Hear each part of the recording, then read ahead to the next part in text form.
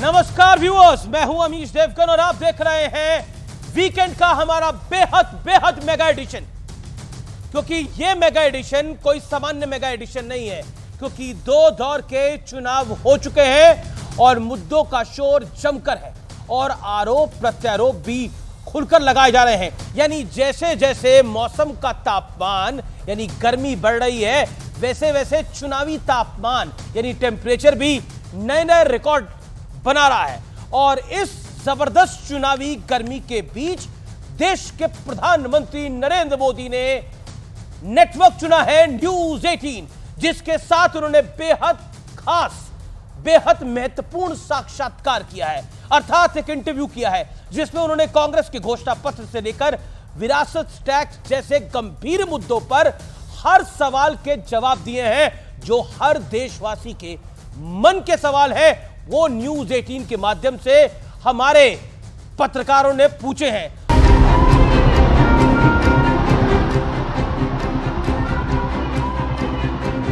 कानून बदलकर हमारी माताओं बहनों की संपत्ति छीनने का भी खेल खेला जा रहा है।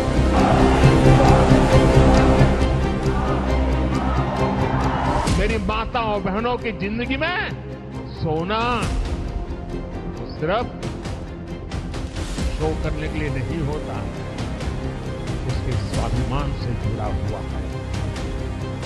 उसका मंगल सूत्र एक सोने का कीमत का मुद्दा नहीं है। उसके जीवन के सपनों से जुड़ा हुआ है। तुम उसे छीनने की बात कर रहे हो अपने मैनिफेस्टो में।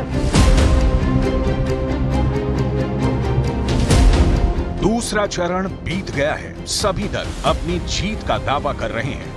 लेकिन अंतिम फैसला 4 जून को होगा। तो दूसरी ओर आरक्षण से लेकर मंगल सूत्र तक घमासान छिड़ा हुआ है। लेकिन इस बीच पीएम मोदी ने न्यूज़ 18 को एक विशेष साक्षात्कार दिया है, जिसमें 370 से लेकर संपत्ति के बंटवारे जैसे मुद्दों पर खुलकर अपनी बात रखी है और विपक्ष को कटघरे में भी खड़ा किया है। सैम पिट्रोडा जी ने जो है इनहेरिटेंस टैक्स की बात की, जो हम लोगों की जमा पूंजी है, जब हम अपने लोग पूरा बचाते हैं अपने फैमिली के लिए, जब हम उसको अपने आने वाली जनरेशन को देंगे तो उस पर भी टैक्स लगेगा। और ये टैक्स बहुत बड़ा टैक्स हो सकता है। तो क्या आप कहेंगे कि बीजेपी अगर आएगी तो इस टैक्स को कभी नहीं लागू करेगी? भारतीय जनता पार्टी क्या करेगी? हमारे मैनिफेस्टो में साफ़ हमने लिख करके लाए हुए अब उन्होंने कहीं सगुफा छोड़ दिया तो मैं भी वो झंडा लेके घूमूँगा। ये सवाल आपके मन में कैसे आ जाता है? ये भारतीय जनता पार्टी की विचारधारा साफ़ है जी। हम अपनी विचारधारा के आधार पर कार्यक्रमों को लेकर के मैनिफेस्टो को लेकर के देश के सामने जाते हैं। कृपा करके ऐसे महासभा के विचारों को हम पर मत थोपिए भाई।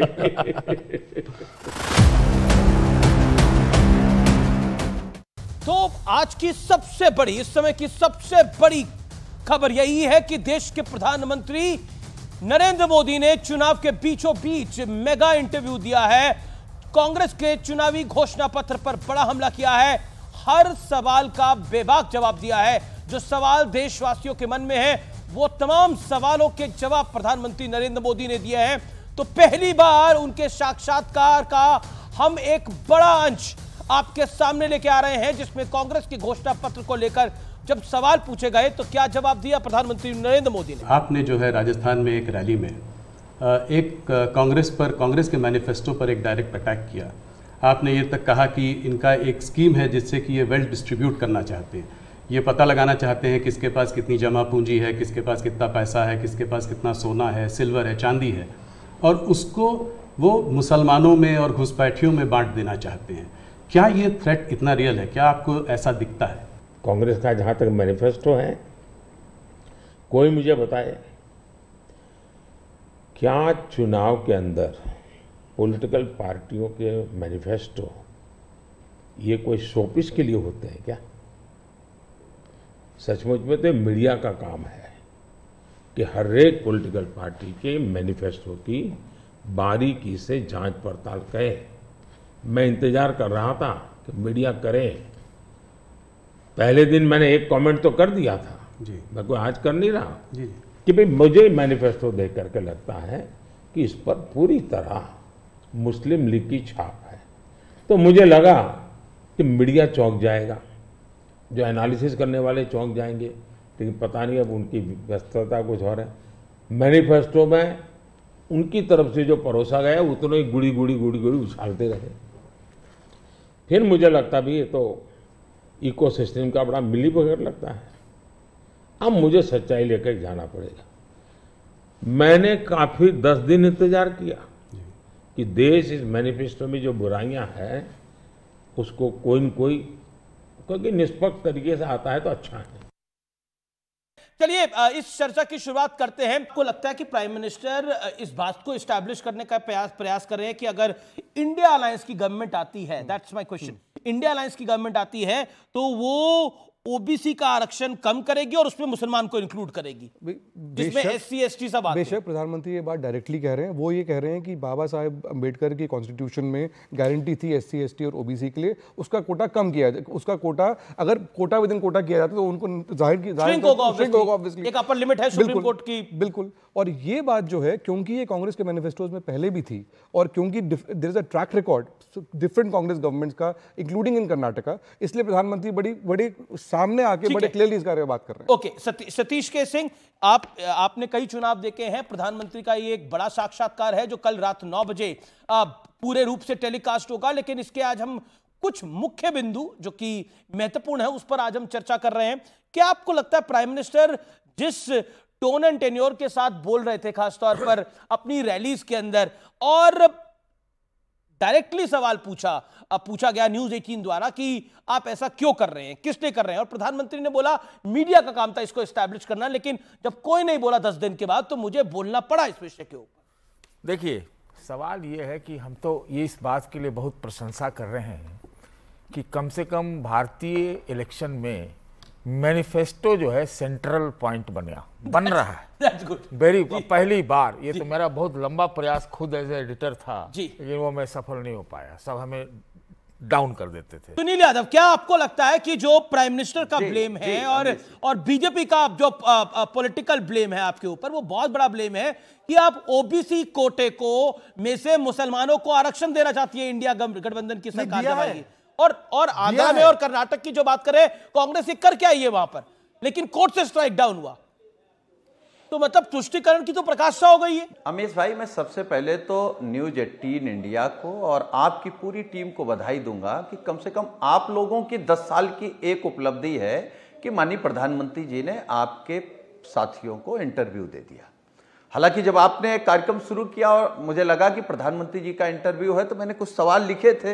मुझे लगा कि कोई ना कोई तो वरिष्ठ साथी आपका इन सवालों पर तो एक जवाब तो मांगेगा प्रधानमंत्री कल का इंतज़ार करिए कल रात नौ बजे पूरा इसलिए जल्दबाजी मत करिए। आपके दिल में भी जो सवाल है बोल दीजिए अच्छा ठीक है। बोल दीजिए। आपके दिल में भी जो सवाल है वो बोल दीजिए कल रात को नौ बजे हर सवाल का जवाब है। जो आप सुनना चाहते हैं। नहीं, नहीं, क्या हम आप, तो कह रहे हैं विवेक- PDA सरकार विवेक- चलाने जा रहा है, हाँ, ये क्या ये बीजेपी का। पॉलिटिकल ट्रैप समझ है? में नहीं आ रहा है। हाँ, अमीश भाई समझ आ गया है है। जिसके अंदर जिसके अंदर पूरा इंडिया अलायंस फंसता हुआ दिख रहा है। There is a political trap of Bharatiya Janata Party अब मैं देख रहा हूँ मैंने मैंने मैंने कल का अखबार उठाया। मैंने कांग्रेस के नेताओं की लेफ़्ट के नेताओं की समाजवादी पार्टी के नेताओं की तक बातें सुनी जो वो भाषणों में कह रहे हैं। उसके अंदर वो इसी बात को क्लैरिफाई कर रहे हैं कि हम ओबीसी का आरक्षण खत्म नहीं करने वाले। तो ट्रैप तो सेट करा बीजेपी ने। और उस ट्रैप में के लपेटे में आप लोग आ गए। देखिए विवेक नहीं और इसको बिल्कुल साफ़ कोई गोई से जवाब दीजिएगा। सतीश जी ने बहुत हाँ बिल्कुल साफ़ साफ़ बोलता हूँ। सतीश जी ने बिल्कुल टू द पॉइंट बोला जब उन्होंने कहा कि सबसे बड़ी खुशी की बात यह है कि कम- कम से कम एक दूसरे के मैनिफेस्टो के ऊपर एक डिस्कशन इस मुल्क के अंदर शुरू हुआ। ये सबसे बड़ी उपलब्धि है। और दूसरा जब मैं मैं, मैं भी आपके साथ पॉलिटिकल एनालिसिस में यहाँ पे बैठा था पहले चरण और दूसरे चरण के बाद आगे के जो प्रोडिक्शन आ रहे हैं ये और ये सतीश जी ने भी कहा था कि जिस तरीके का टर्नआउट हुआ है ये बहुत ही संघर्ष दिखा रहा है रूलिंग गठबंधन के लिए। तो कहीं ना कहीं उसको हम फ्रस्ट्रेशन कहें, या उसको एक चुनावी रैली का जुमला कहें, क्या कहें ऑनरेबल प्राइम मिनिस्टर और बाकी भी जो भाजपा के नेता हैं रैलियों में बहुत लूज भाषा का प्रयोग हो रहा है पिछले कुछ समय से। और ये आपकी मेहनत है, अमीश देवगन, आपके जैसे जो वरिष्ठ पत्रकार हैं, जिन्होंने सालों मेहनत करी है और चैनल आज आपका उस पोजीशन में खड़ा है कि कहीं ना कहीं ऑनरेबल प्राइम मिनिस्टर को भी आना पड़ा कि मैं कुछ क्लैरिफिकेशन दूँ because he is not able to put the message across straight to the masses ये एक रियलिटी है। शहजाद पूनावाला। क्या आपको लगता है कि पॉलिटिक्स ऑफ़ कन्वीनियंस है कांग्रेस की लड़ाई की बात करना? देखिए ऐसा नहीं है। कश्मीर से कन्याकुमारी आप देखिए कि ये अनसेटल्ड है। और इनका अलायंस भी अनसेटल्ड है। और इन्होंने क्या किया है? हमारे मिलेनियल्स की लैंग्वेज में फ्रेंडशिप विद बेनिफिट्स होता है। नूप तो आप समझ ही गए थे। फ्रेंडशिप विद बेनिफिट्स वाला मॉडल है कि दिल्ली में हमको फ्रेंडशिप करना है पंजाब में अलग अलग लड़के गाली दे के बेनिफिट लेना है। दिल्ली में हमको फ्रेंडशिप करना है विवेक जी के साथ और केरल में विजयन जी को गालियाँ देकर बेनिफिट लेना है। ये फ्रेंडशिप विद बेनिफिट्स नहीं चलता। विवेक जी आपके टारगेट पे रहते हैं। नहीं नहीं नहीं विवेक जी के टारगेट पे राहुल गांधी है। और राहुल गांधी के टारगेट आपको पता है हमने जब कुछ नहीं कहा ऐसा स्टेटमेंट एमएलए है लेफ़्ट के अनवर साहब। उन्होंने राहुल गांधी के डीएनए पे बात की। ऐसी टिप्पणी तो हमने कभी नहीं किया। तो मुझे लगता है कि ऐसी तो टिप्पणी बोला था कि राहुल गांधी तो- चुनाव में बाहर तो मैं एक लास्ट वाक्य इनका एक मॉडल जो है हमारा मिशन और विशन इनका है कंफ्यूजन एम्बिशन एंड डिवीज़न और इसलिए रांची में भी तो देखा ना जूते चप्पल टेबल कुर्सी क्या बचा था सब चल गया। अच्छा पप्पू का भी क्या हुआ? कांग्रेस ने एक पप्पू का काटा और पप्पू ने कांग्रेस का काटा। आप पप्पू यादव की बात कर रहे हैं। पप्पू यादव की का पप्पू ने कांग्रेस का काटा और फिर कांग्रेस ने पप्पू ओके का ओके काटा। ओके विवेक कुछ ऐड करना चाह रहे हैं सतीश जी कुछ ऐड करना चाह रहे हैं। देखिए विवेक विवेक देखिए, थर्टी सेकेंड जहाँ तक हम लोगों की हम लोगों की अंडरस्टैंडिंग शहजाद भाई के नॉलेज के लिए मैं बता देता हूँ कि कोई ट्रैप हो नहीं रहा है और ये बीजेपी खुद को ट्रैप कर रही है। जितना ज़्यादा आप हिंदू वर्सेस मुस्लिम को करेंगे जितना ज़्यादा आप मुस्लिम तुष्टिकरण शब्द यूज़ करेंगे हम चाहते हैं आप यूज़ करें उतना ज़्यादा हमारे फेवर में जाएगा क्योंकि हमारा नेरेटिव है कि आप सिर्फ़ हिंदू मुस्लिम के अलावा कुछ कर नहीं सकते। अरे भाई, राहुल को क्यों अनवर साहब तो हम तो चाहते हैं ऐसा और और विजय जी ज़्यादा गालियाँ दे रहे हैं। हाँ अब आप तो आ जाइए राहुल पे। आज सुन लीजिए ये- ये- ये विवेक विवेक हैं। विवेक नहीं, इसके ऊपर सतीश जी का रिएक्शन ज़रूरी है जितना बीजेपी। जितना बीजेपी पोलराइज करेगी उतना नुकसान बीजेपी को होगा? जो विवेक की बिल्कुल। नहीं नहीं मुझे ऐसा नहीं लगता। ये देखिए मैंने शुरू में ही कहा कि ये चुनावी पैतरेबाजी है। क्या तो ये- प्रयास भारतीय जनता पार्टी का पूरा फोकस ये रहता है कि मेरे ऊपर कुछ मत बात करो। ऑपोजिशन के गोल के पास दना दन मारते जाओ। तो ये पॉलिटिक्स है इसको मैं बहुत तवज्जो नहीं देता। ये स्वस्थ राजनीति के लिए भी अच्छा नहीं है। मैं ये कहना चाहता हूँ कि अगर आप मैनिफेस्टो पे लाना चाहते हो जो वेस्टर्न कंट्रीज़ में भी एक तरीका होता है लड़, चुनाव लड़ने का तो स्वस्थ राजनीति और स्वस्थ डेमोक्रेसी तो मैनिफेस्टो की तो बात बात करिए ना भाई। अरे ये मैनिफेस्टो में ये कहाँ से ये अनवर सनवर सब लोग आ गए यार। अनवर मैनिफेस्टो में नहीं है। नहीं नहीं एक सेकंड वो तो एक फैक्चुअल पॉइंट है दस सेकंड दस सेकंड। अनवर जी ने जो डीएनए के ऊपर बोला पर सतीश जी ये उदयनिधि स्टालिन हमारा है क्या सनातन समाप्ति की बात जब कर रहा था? ये सनातन बीमारी है ये खड़गे जी के पुत्र बोलते हैं हमने बोला है क्या? आम आदमी पार्टी के और जब ये राम मंदिर में सूर्य तिलक हो रहा था ये पाखंड है राम मंदिर जो है गुलामी की निशानी है रामचरितमानस ये मैंने बोला या इन्होंने बोला? सजाद ये मैं उनके तरफ़ से नहीं, नहीं बोल सकता। उन्होंने बोला। तो मैं- हम मैं- जवाब दे तो हम खरा। क्या आप ये बताइए? हम आपको आपसे सवाल पूछते हैं। हाँ, क्या जाति व्यवस्था जो है वर्ण व्यवस्था भी नहीं जाति व्यवस्था जो हिंदू सोशल ऑर्डर है उसमें तब्दीली होनी चाहिए या नहीं होनी चाहिए? अरे मान्यवर मुझसे क्यों पूछते हो? अंबेडकर जी ने संविधान लिखकर चले गए और उसको कौन बदल रहा है? मुस्लिमों को आरक्षण देकर। नहीं नहीं नहीं हमें तो ये सवाल ही मत पूछिए। एक सेकंड नहीं, आप प्रोपेगेंडा पब्लिसिटी पे अरे भाई आप प्रोपेगेंडा पब्लिसिटी सतीश पे मत अच्छा, आइए। मैं उसूल की बात कर हम अच्छा ठीक है। हाँ, करती है लेकिन लेकिन लेकिन इससे मेरे मैं कोई पॉइंट पर आ कांग्रेस जाते हैं। उसूल पे, तो आज वो पे। कर रही है नहीं, नहीं, नहीं, देखिए देखिए। देखिए देखिए अमीर, अरे भाई, मैं बोलता हूँ, डिबेट डाइवर्ट हो गई। कि कांग्रेस कांग्रेस के ये खेमेबाजी से डिबेट डाइवर्ट हो। गई। बीजेपी भी खेमेबाजी भाई, सुनिए, एक चलती सेकंड। थी लेकिन जब से कमज़ोर हुई कांग्रेस आवाज़ के दम पे नहीं तर्कों के पर कांग्रेस देखो ये तो कांग्रेस की पुरानी दम कहानी है। अब मुझे जवाब जी जी। दीजिए। एक सेकंड एक सेकंड प्लीज़ सुन लीजिए पहली बार देश का ओबीसी प्रधानमंत्री जिसने टेन्योर पूरा किया मैं पूरे में शब्द मा- मा- नोट कीजिए वो है नरेंद्र मोदी किसने बनाया बीजेपी ने पर बीजेपी कॉस्टिस्ट पार्टी है और ये कांग्रेस जिसने ओबीसी का प्रधानमंत्री नहीं बनाया ये कांग्रेस अच्छी कांग्रेस। है। Get back to जिसने कांग्रेस मंडल कांग्रेस। का विरोध किया वो कांग्रेस अच्छी है लेकिन- लेकिन- मंडल का आप लोग भी विरोधी थे नहीं नहीं कांग्रेस वर्सेस मंडल का बीजेपी भी विरोधी थे Nalin want to make about okay okay Mandal का विरोधी थी या नहीं बताइए बताइए मैं तो था उस समय बताइए उस समय था ये विरोधी की नहीं? अब अच्छा, बताइए आधार पर आरक्षण की बात सुनील यादव जी कुछ कहना चाह रहे हैं? कर्पूरी ठाकुर को सम्मानित हमने किया। ले- और मेरे- सम्मान करने से आरक्षण का मेरी रिक्वेस्ट है मेरी रिक्वेस्ट नहीं, मुस्लिमों को देने वाले ओके ऑल ऑडियंस नहीं, वो गलत। स्टूडियो के बाहर जा रहा हूँ मैं। संजीव झा है Sanjeev Jha with all due respect to you ये आपका मुद्दा नहीं है जो कांग्रेस के घर में इस समय हो रहा है। लेकिन क्या आपको लगता है कि आपकी वजह से ये हो रहा है? आ, मुझे लगता है कि ये लड़ाई बहुत बड़ी है और लड़ाई जब बहुत बड़ी हो छोटी छोटी चीज़ों को मुझे लगता है नज़रअंदाज कर देना चाहिए। क्योंकि ये कुर्सी फेंका तो भाजपा का राजस्थान के टिकट बंटवारे में भी हुआ था मध्य प्रदेश। टिकट बंटवारे में भी हुआ था। तो मुझे लगता है ये इतना महत्वपूर्ण नहीं है। बड़ी लड़ाई क्या है? बड़ी लड़ाई ये है कि आज देश में एक तरह से तानाशाही है। सभी सभी आप जितनी भी आप संवैधानिक इकाई हैं उसको मिसयूज कर रहे हैं। आज भी हमारे साथ क्या हुआ? हमने अपने कैंपेन सॉन्ग लॉन्च किया था। इलेक्शन कमीशन कहता है कि ये कैंपेन सॉन्ग नहीं चलने देंगे। आपत्ति क्या है? हम कहते हैं, आवाज़ खिलाफ दीजो, सबको जेल में डाल दिया और बस उनको ही बाहर रहने दिया जो इनको माल दिया। तो इतनी लालच में, इतनी भ्रष्टाचार से मोहब्बत तो इलेक्शन कमीशन कहता है कि ये slanderous remarks and criticism of for the ruling party अरे तो हम रूलिंग पार्टी के क्रिटिसिज्म नहीं करेंगे तो किसका किस इलेक्शन कमीशन का करेंगे? तो आप समझिए हम पहले ही कह रहे थे कि इलेक्शन कमीशन की नियुक्ति अगर इस तरह से करेंगे कि दो व्यक्ति आपका रहेगा और एक अपोजिशन का तो आपके हिसाब से चलेगा वो। और वही चल रहा है। तो आज चाहे इलेक्शन कमीशन हो चाहे बाकी जाँच एजेंसी जी, हो जी। सबको आपने अपने, अपने अंदर कर लिया है। जी, संजीव। तो अब ये लड़ाई इस देश के जनतंत्र को संवैधानिक इकाई को बचाने की लड़ाई है। और ये लड़ाई नरेंद्र मोदी वर्सेस जनता है। मैं एक बात की आपको शुभकामनाएँ शुभकामनाएँ देता हूँ Amit ji.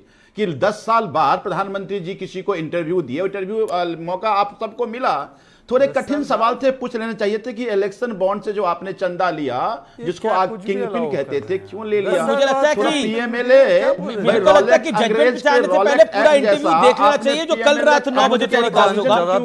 Okay Shehzad Shehzad Shehzad second. दे दीजिए और बीच में हस्तक्षेप कोई ना करे। संविधान बचाओ मान्यवर अच्छा ठीक है। खैरा जी की गिरफ्तारी पंजाब में होती है कांग्रेस बोलती है।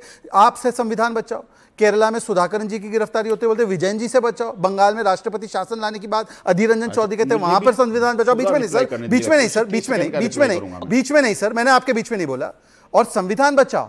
तो सुप्रीम कोर्ट जब इलेक्टोरल बॉन्ड पे या चंडीगढ़ पे फैसला दे तब तो सुप्रीम कोर्ट ठीक है। और सुप्रीम कोर्ट अगर केजरीवाल को राहत ना दे हाई कोर्ट केजरीवाल को भ्रष्टाचारी बोले तब तो संविधान खतरे में आ जाता है। ये संविधान बचाओ नहीं अपना अपना भ्रष्टाचार बचाओ। है senior political pundit journalist told me कि जिस जिस अलायंस जिस जिस पॉलिटिकल पार्टी ने कांग्रेस के साथ अलायंस किया है 2024 के 15 जून के बाद आप उनके रिएक्शन सुनिएगा अमीश देवगन जी क्या आएँगे? एंड दे टोल्ड मी उन्होंने बोला कि आप देखिएगा क्या होगा। एंड समाजवादी पार्टी ने यूपी में करा है all the best to them Aam Aadmi party ने दिल्ली में करा है all the all the best to them Shivsena Uddhav Thackeray ने वहाँ करा है महाराष्ट्र में करा है all the all the best to them देखिए ये अपने अपने अपने अपने वोट्स को इंटैक्ट रखेंगे लेकिन कांग्रेस का उस तरह से वोट नहीं मतलब जैसे कहते हैं अपना उनका हाउस ऑर्डर में नहीं है। दैट्स एक एक- सतीश एक चीज़ और। one आपने सपा की बात करी तो अमेठी और अमेठी और रायबरेली तो अभी कैंडिडेट डिक्लेयर ही नहीं हुआ है यस कल की मीटिंग के बाद भी नहीं हुआ। ओके सतीश जी। देखिए मैं मानता हूँ कि सारी पार्टियों में स्थितियाँ ऐसी ही रहती हैं। ये कांग्रेस वालों से पूछिए तो ये ज़्यादा बेहतर है। कांग्रेस तो खेमेबाजी पे ही चलती रही है। मैं ये कह रहा हूँ उनको इस हालात में भी चल रही है। नहीं ये हालात में चल क्या रही में दौड़नी चाहिए थी ना अभी की हालत में लेकिन वो चल भी पा रही के लिए दिक्कत है।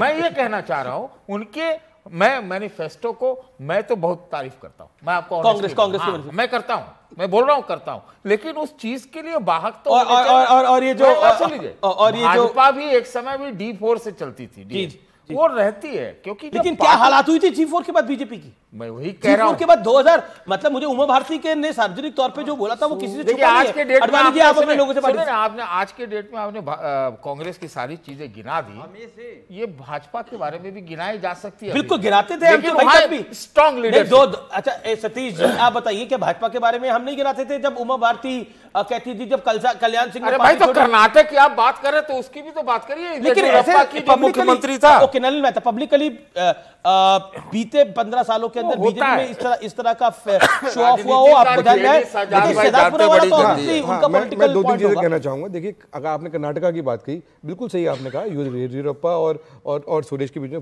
हुआ था। इसीलिए भाजपा हारी भी है। तो जो कर्नाटका में लेकिन लेकिन डिफरेंस कांग्रेस और भाजपा में ये है, देखिए हर एक पार्टी में महत्वाकांक्षी लोग होते हैं हर एक हर एक पार्टी में गुट होते हैं लेकिन डिफरेंस ये है कि इस वक्त की भाजपा में क्योंकि एक स्ट्रॉन्ग बिल्कुल, बिल्कुल, एकदम। वो लीडरशिप तो यही होती है. पास पैरों पे हाथ रखते हुए मैं पूछना चाहता हूँ जब भाजपा दो सीट पे भी थी हमारी विचारधारा इतनी तगड़ी थी कि भाजपा के 500 टुकड़े नहीं हुए कांग्रेस ए टू लेकर जेड हुई जब कांग्रेस सत्ता में थी तो ये फ़ेमस लॉकी वाला वीडियो का लॉकी वाला वीडियो आप ही के शो आज- तो आज- आज आप दोबारा डाल देना कभी। तो, तो केवल मेरा एक कहना है कि हमारी time time is over time is over लेकिन ये मेगा मेगा हमारा जो एडिशन है, ये जारी रहेगा, लेकिन कल रात